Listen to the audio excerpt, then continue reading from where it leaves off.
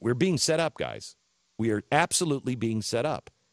And I don't know. This is what I pray every night. I don't know how to do this, Lord. I don't know what you want. I don't know. I, I don't know what you want.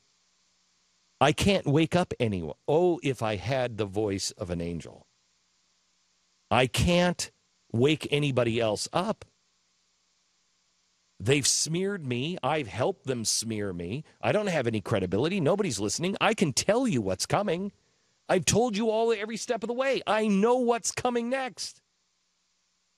But I don't know how am I going to get people to listen? This is why perhaps I have said that you are going to be the key because I know that. I know that with everything in me. This audience changes the course in a good way. This audience pulls the republic back from the brink. If you look back at history, what happens to people who have voices and can cobble together uh, people and be a leader, if you go back to what happened with the Armenian genocide, what is the first thing the Turks did? What is the first thing the Nazis do?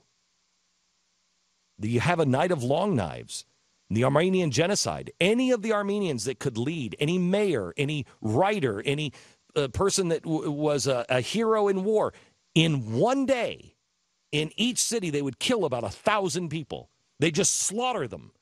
And they were all the leaders of the community. Anyone that people would rally around and follow, they were killed day one.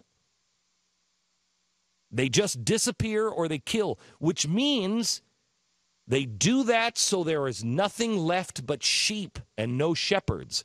I'm telling you now, if you want the republic to survive, you must say, You are not a sheep, you are a shepherd.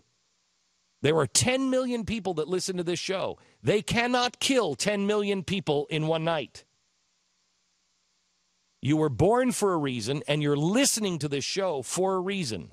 Read the essential speeches of Martin Luther King. There is one way out, and it is through reconciliation, peace, love, the teachings of Jesus, the teachings of Gandhi, the teachings of Bonhoeffer, the teachings of Martin Luther King.